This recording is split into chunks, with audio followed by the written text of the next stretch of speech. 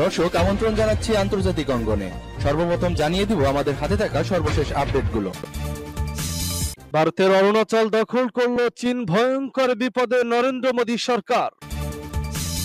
সন্ত্রাসের হুমকি কমায় পাকিস্তানে ফের প্রতিরক্ষা সরঞ্জামের আধুনিকায়ন শুরু। সোমালিয়ায় আল শাবাবের আত্মঘাতী বোমা হামলায় সাংবাদিক নিহত। বর্তমান সরকার ইসরায়েলের জঘন্যতম সরকার। এবং সর্বশেষ জানিয়ে দেব, ফিলিস্তিনি জাতির অধিকার পদতুলিত করা যাবে না বলছে আব্দুল্লাহ হিয়ান শুনছিলেন সংবাদ শিরোনাম এখন বিস্তারিত। তবে তার আগে অনুরোধ থাকবে, ভিডিওটিতে একটি লাইক এবং কমেন্টস করে জানিয়ে দিন, আজকের সংবাদের সব থেকে গুরুত্বপূর্ণ বিষয় হচ্ছে, ভারতের অরুণাচল দখল করল চীন, দিশেহারা হিন্দুত্ববাদী নরেন্দ্র মোদী সরকার। আপনি কি বিশ্বাস করেন, এই চীন একসময় ভারত দখল করে বিশ্বের রাজত্বের চেয়ারে বসবে এবং চীন এই কট্টরপন্থী নরেন্দ্র মোদী সরকারের পতন ঘটাবে। এতে আপনার মতামত জানিয়ে কমেন্ট বক্সে কমেন্ট করে জানিয়ে দিন। ভারতের অরুণাচল দখল করল চীন। ভারতের অরুণাচলের নতুন নতুন জায়গায় বসতি স্থাপন করছে চীন। উড়িয়েছে পতাকাও। রাজ্যটিকে কখনোই নয়াদিল্লির বলে স্বীকার করে না বেজিং যার জেরে সেখানে নিয়ন্ত্রণ প্রতিষ্ঠা অব্যাহত রেখেছে দেশটি। এমনকি তারা ভুটান সীমান্তেও বসতি স্থাপন করে যাচ্ছে। এসব নিয়ে রীতিমতো চাপে আছে নরেন্দ্র মোদী প্রশাসন। নিরাপত্তার জন্য বিরোধী দল কংগ্রেসও এক হাত নিয়েছে বিজেপিকে। চীনকে মোকাবেলায় লাদাখ ও অরুণাচল সীমান্তে রাশিয়ার তৈরি আধুনিক আকাশ প্রতিরক্ষা ব্যবস্থা এস ফোর হান্ড্রেড ক্ষেপণাস্ত্র মোতায়েন করতে যাচ্ছে ভারত। চলতি বছর জানুয়ারিতে স্যাটেলাইট চিত্রে অরুণাচলে ভারতীয় ভূখণ্ডে মধ্যে একটি চীনা গ্রাম দেখা যায় যা নিয়ে শুরু হয় রীতিমতো হইচই। সেই স্যাটেলাইট চিত্রের সত্যতায় সায় দেয় প্যান্টাগনও এরপরেই সীমান্তের চীনের বেআইনি কার্যকলাপের তীব্র বিরোধিতা করে ভারত। সেই ঘটনার রেশ কাটতে না কাটতে আবার সেই অরুণাচলেই চীনা বসতির ছবি ধরা পড়ল স্যাটেলাইট ছবিতে। প্রকৃত নিয়ন্ত্রণ রেখার ছয় থেকে সাত কিলোমিটার ভেতরে এই বসতি গড়ে উঠেছে। গত জানুয়ারিতে যে জায়গায় চীনা গ্রামের ছবি ধরা পড়ে সেই গ্রাম থেকে বর্তমান গ্রামটি তিরানব্বই কিলোমিটার পূর্বে। অরুণাচল সীমান্ত লাগোয়া শি ইয়মি জেলায় চীন এই বসতি গত দুই থেকে আড়াই বছরের মধ্যে গড়ে তুলেছে বলে মনে করা হচ্ছে। উনিশে মার্চ দুই হাজার উনিশ সালে তোলা ওই জায়গার স্যাটেলাইট চিত্রে এলাকাটি ফাঁকা দেখা যায়, অথচ দুই হাজার একুশ সালের বিশে সেপ্টেম্বরের ছবিতে বসতির উপস্থিতি স্পষ্ট। আরেক স্যাটেলাইট ছবিতে একটি বাড়ির ছাদে চীনা পতাকার উপস্থিতিতে স্পষ্ট হয়। এটি যে চীনেরই বসতি, ওই বসতিতে অন্তত ষাটটি বাড়ি রয়েছে বলে ধারণা করা হচ্ছে। তবে সব বাড়িতে মানুষের বাস আছে কিনা তা এখনও নিশ্চিত নয়। শুধু অরুণাচলেই নয়, ডোকলামের কাছে ভুটানের ভূখণ্ডেও চীন ঠিক। একইভাবে বসতি গড়ে তুলছে। গত সপ্তাহে প্রায় একশো বর্গ কিলোমিটার এলাকা জুড়ে গোটা চারেক চীনা বসতি তৈরির স্যাটেলাইট ছবি প্রকাশিত হয়। চীনের এমন আচরণে ক্ষুব্ধ ভারত, কিন্তু বিজেপি সরকার আদতে কিছুই করতে পারছে না বলে অভিযোগ কংগ্রেসের। বিরোধী দল কংগ্রেসের মুখপাত্র গৌরব বল্লভ জানান, নরেন্দ্র মোদী প্রশাসনের চুপ থাকায় প্রমাণ করে তারা বেইজিং এর কাছে নতজন অবস্থানে আছে। নিয়ন্ত্রণ হারিয়েছে বলে অভিযোগ কংগ্রেস নেতাদের। সন্ত্রাসের হুমকি কমায় পাকিস্তানে ফের প্রতিরক্ষা সরঞ্জামের আধুনিকায়ন শুরু। পাকিস্তানের জঙ্গি গোষ্ঠী তেহরিকি তালেবান পাকিস্তান বা টিটিপির দিক থেকে মনোযোগ সরিয়ে চির প্রতিদ্বন্দ্বী ভারতকে টার্গেট করে পাকিস্তান তার প্রতিরক্ষা সরঞ্জাম আধুনিকায়নের প্রচেষ্টা জোরদার করেছে। Bharat T ninety M S ট্যাঙ্কের অর্ডার টি নাইনটি এ ট্যাঙ্কগুলোর একটি বড় বহর তৈরি এবং বেশিরভাগ T seventy two M one ট্যাঙ্কগুলোকে upgrade করায় পাকিস্তানের মোকাবেলায় তার নতুন ধরনের সাজওয়াজান এবং উন্নত নিজস্ব প্রতিরক্ষা সরঞ্জাম আধুনিকায়ন করেছে। যদিও টিটিপির বিরুদ্ধে অভিযানকালেও ধীরলয়ে অস্ত্র সংগ্রহ অব্যাহত ছিল। লেখক বিশ্লেষক এবং ইসলামাবাদের প্রাক্তন অস্ট্রেলিয়ান প্রতিরক্ষা অ্যাটাশে ব্রন ক্রাউলি ব্যাখ্যা করেছেন যে প্রয়োজনীয়তার দাবি ছিল বৃহত্তর প্রোগ্রামগুলোকে প্রত্যাহার করা বা হিমায়িত করা। তিনি বলেন, তালেবান এবং অন্যান্য জঙ্গি কার্যকলাপের বিস্তৃতি, বিশেষ করে আফগানিস্তানের সীমান্তবর্তী অঞ্চলে যেখানে ভারী যানবাহন চলাচলের অযোগ্য, সেনাবাহিনীকে বিদ্রোহ দমনের উপর দৃষ্টি নিবন্ধ করে। এটি একটি বাজেটের সিদ্ধান্ত ছিল যা কৌশলগত বাস্তববাদ দ্বারা সমর্থিত ছিল। কিন্তু এটা স্বীকার করা হয়েছে যে বিদ্রোহ বিরোধিতা কমে যাওয়ার প্রতিরক্ষা সরঞ্জাম আধুনিকায়নের কর্মসূচি ফের চালু করা যেতে পারে। পাকিস্তান সেনাবাহিনী আফগানিস্তানের সীমান্ত বরাবর অশাসিত স্থানগুলোতে দেশীয় বিদেশি সন্ত্রাসীদের নির্মূল করার জন্য দু সাল থেকে প্রথম অপারেশন জারব ইয়াজব শুরু করার পর টিটিপি নেতৃত্বাধীন হুমকিকে কার্যকরভাবে পরাজিত করেছিল।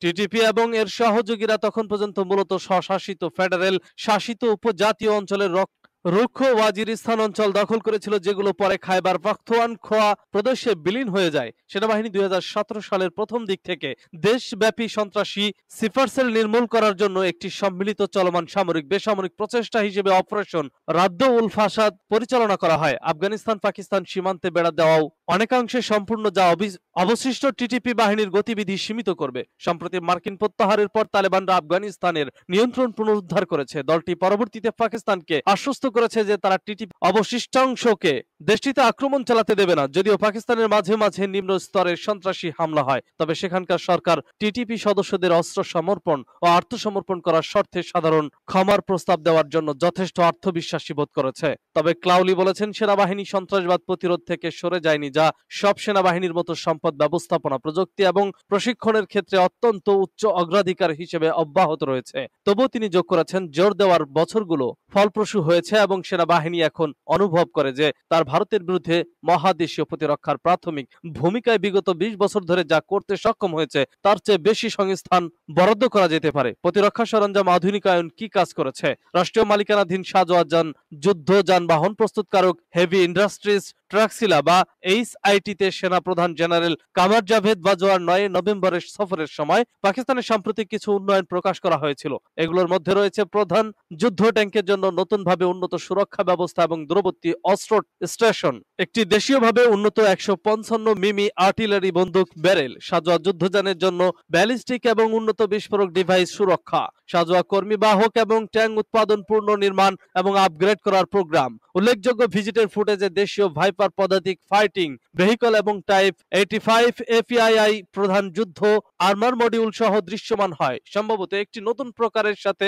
প্রতিস্থাপনের ইঙ্গিত দেয়। এইচআইটি এর চলমান প্রোগ্রামগুলোর জ্ঞান সহ একটি শিল্প সূত্র নাম প্রকাশ না করার শর্তে ডিফেন্স নিউজকে বলেছে যে ভাইপারটির পরীক্ষামূলক উৎপাদন চলছে উৎসটি আরও বলেছে যে ইউক্রেনীয় সরবরাহকৃত ডি এইটিন ইউডি ট্যাঙ্কগুলো একটি নতুন থার্মাল গানারের দৃষ্টিশক্তি এবং স্থানীয়ভাবে উন্নত সলিড স্টেট অটো দিয়ে সজ্জিত করা হয়েছে। সূত্রটি যোগ করেছে যে, সম্প্রতি China North Industries Group Corporation লিমিটেডের কাছ থেকে প্রাপ্ত নরিনকো নামে পরিচিত ভিটি ফোর ট্যাঙ্কটি ভবিষ্যতের আল খালিদ টু এর ভিত্তি করে তৈরি করবে। বিদ্যমান পরবর্তী আল খালিদ সংস্করণগুলোকে একই মানদণ্ডে আপগ্রেড করা হবে, যদিও তিনি টাইপ এইটি ফাইভ এপিআইআই আপগ্রেডের বিশদ বিবরণ দিতে অক্ষম। ডিফেন্স নিউজ বুঝতে পারে যে এটি টি এইটি ইউ এর অনুরূপ লাইনে আপগ্রেড করা হয়েছে। সোমালিয়ায় আল শাবাবের আত্মঘাতী বোমা হামলায় সাংবাদিক নিহত।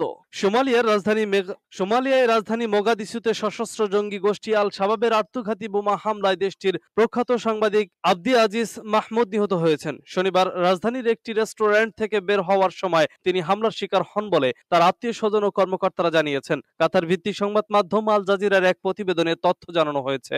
আল শাবাব এই হামলার দায় স্বীকার করেছে হামলায় নিহত রেডিও মগাদিসুর পরিচালক আব্দি আজিজ মাহমুদ গোষ্ঠীটিকে নিয়ে নানা প্রোগ্রাম করতেন। ওই হামলায় সোমালিয়ার জাতীয় টেলিভিশনের পরিচালক ও তার ড্রাইভার সহ বেশ কয়েকজন আহত হয়েছেন। ওই সাংবাদিকের চাচাতো ভাই আব্দুল্লাহি নূর বার্তা সংস্থা রয়টার্সকে জানিয়েছেন, তার চাচাতো ভাই আব্দি আজিজ একটি হোটেল থেকে বের হওয়ার সময় আত্মঘাতী বোমা হামলার শিকার হয়েছেন। তাকে হাসপাতালে নেওয়া হলে চিকিৎসক মৃত ঘোষণা করেন।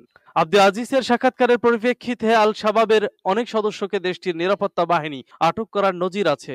দেশ এবং দেশের বাইরে এই সাংবাদিকের প্রোগ্রামে অনেক সমর্থক রয়েছে। বর্তমান সরকার ইসরায়েলের জঘন্যতম সরকার। ইসরায়েলের নাফতালি বেনেটের নেতৃত্বের বর্তমান সরকারকে আগের সব সরকারের চেয়ে জঘন্যতম হিসেবে মন্তব্য করেছেন ফিলিস্তিনি কর্তৃপক্ষের প্রেসিডেন্ট দপ্তরের এক মুখপাত্র। বৃহস্পতিবার ফিলিস্তিনি রেডিও ভয়েস অব প্যালেস্টাইনের সাথে এক সাক্ষাৎকারে এমন মন্তব্য করেন নাবিল আবু রুদাইনা নামের এক কর্মকর্তা। তিনি বলেন, আমাদের জনগণ এক নাগাড়ে বিভিন্ন ইসরায়েলি সরকারের মুখোমুখি হয়েছে যারা শান্তি প্রক্রিয়া প্রতিষ্ঠার যে কোনো ব্যবস্থাকেই ধ্বংস করেছে। বর্তমান দখলদার সরকার, দৈনিক হত্যাকাণ্ড ও অন্যান্য যুদ্ধাপরাধের মাধ্যমে তাদের পূর্বসূরীদের ছাড়িয়ে গিয়েছে আবু রুদাইনা সতর্ক করে বলেন, ফিলিস্তিনি নেতৃত্ব আন্তর্জাতিক আইন লঙ্ঘন করা অপরাধের দায়ে আন্তর্জাতিক ফোরাম সমূহে ইসরায়েলকে অভিযুক্ত করার আইনি প্রক্রিয়ার প্রস্তুতি নিচ্ছেন। তিনি জানান, ফিলিস্তিনি প্রেসিডেন্ট মাহমুদ আব্বাস বুধবার রামাল্লায় জাতিসংঘে যুক্তরাষ্ট্রের দূত লিন্ডা টমাস গ্রিনফিল্ডের সাথে এক বৈঠক করেন। বৈঠকে আব্বাস জেরুজালেমের অবস্থান ও মর্যাদা পরিবর্তনে ইসরায়েলের যে কোনো চেষ্টার প্রতি সতর্কতা জানান। এ ধরনের চেষ্টা পরিস্থিতিকে গুরুত্বর করবে এবং দুই রাষ্ট্রভিত্তিক সমাধানকে নস্বাত করবে বলে জানান তিনি। আবু রুদাইনা বলেন বলেন বৈঠকে আব্বাস জানান তিনি বাইডেন প্রশাসনের কাছে দুই রাষ্ট্রভিত্তিক সমাধান বসতি নির্মাণ, জেরুজালেমের ফিলিস্তিনিদের জন্য মার্কিন কনসুলেট খোলার বিষয়ে প্রতিশ্রুতি ও প্রতিজ্ঞায় বহাল থাকবেন। জাতিসংঘের তথ্য অনুসারে চলতি বছরের একই জানুয়ারি থেকে একত্রিশে অক্টোবর পর্যন্ত ইসরায়েল, জেরুজালেম সহ পশ্চিম তীর ও গাজা উপত্যকায় তিনশো একত্রিশ ফিলিস্তিনিকে খুন ও ষোলো হাজারের বেশি ফিলিস্তিনিকে আহত করেছে। অপরদিকে একই সময় জেরুজালেম সহ পশ্চিম তীরে ফিলিস্তিনিদের সাতশো একুশটি বাড়ি গুড়িয়ে দিয়েছে ইসরায়েলি কর্তৃপক্ষ। সূত্র মিডল ইস্ট মনিটর। ফিলিস্তিনি জাতির অধিকার পদতুলিত করা যাবে না বলছে আব্দুল্লাহ হিয়ান। হামাসকে সন্ত্রাসী আখ্যায়িত করার নিন্দা। ইরানের পররাষ্ট্রমন্ত্রী হোসাইন আমির আব্দুল্লাহিয়ান বলেছেন, বাস্তবতাকে উল্টো করে দেখিয়ে ফিলিস্তিনি জাতির অধিকার লঙ্ঘন করা যাবে না। তিনি শনিবার নিজের অফিসিয়াল ইনস্টাগ্রাম পেজে দেওয়া এক পোস্টে এ মন্তব্য করেন। আব্দুল্লাহিয়ান বলেন, ফিলিস্তিনের গণসংগঠন হামাসকে সন্ত্রাসী গোষ্ঠী হিসেবে আখ্যায়িত করে ব্রিটিশ সরকার যে ঘোষণা দিয়েছে তা অত্যন্ত নিন্দনীয়। একটি ভূখণ্ডের জনপ্রিয় একটি সংগঠনকে সন্ত্রাসী আখ্যা দিলেই সেটি সংগঠনটি সন্ত্রাসী হয়ে যায় না। ইরানের পররাষ্ট্রমন্ত্রী বলেন, মধ্যপ্রাচ্য সন্ত্রাসবাদের মূল হোতা ইসরায়েলের পরবর্তীতে ফিলিস্তিনি সংগঠনকে সন্ত্রাসী বলার মাধ্যমে প্রকৃত বাস্তবতাকে সম্পূর্ণ উল্টো করে তুলে ধরেছে ব্রিটিশ সরকার। তবে এর মাধ্যমে ফিলিস্তিনি জাতির অধিকার পদতুলিত করা সম্ভব হবে না। তিনি ফিলিস্তিন সংকটের ব্যাপারে ইরানের ঘোষিত নীতির পুনরাবৃত্তি করে বলেন, ফিলিস্তিনের মূল অধিবাসীদের মুসলমান, ইহুদি ও খ্রিস্টান মধ্য গণভোট অনুষ্ঠানের মাধ্যমে সেখানকার ভাগ্য নির্ধারণই হচ্ছে ফিলিস্তিন সংকট সমাধানের সর্বোত্তম রাজনৈতিক উপায়। ব্রিটিশ সরকার ফিলিস্তিনের ইসলামী প্রতিরোধ আন্দোলন হামাসকে সন্ত্রাসী গোষ্ঠী বলে ঘোষণা করেছে। সম্প্রতি ব্রিটিশ স্বরাষ্ট্রমন্ত্রী প্রীতি প্যাটেল শুক্রবার লন্ডনে এই ঘোষণা দিয়ে বলেছেন, তার নির্দেশে ব্রিটেনের হামাসের যে কোনো ধরনের তৎপরতা নিষিদ্ধ করা হয়েছে। লন্ডনের এই ঘৃণ্য কাজের প্রতিক্রিয়ায় হামাস বলছে, এ ধরনের কাজ না করে ব্রিটিশ সরকারের উচিত অবৈধ রাষ্ট্র ইসরায়েল প্রতিষ্ঠায় নিজের ভূমিকার কথা স্মরণ করে লজ্জিত হওয়া উচিত। সূত্র ফাস্ট টুডে।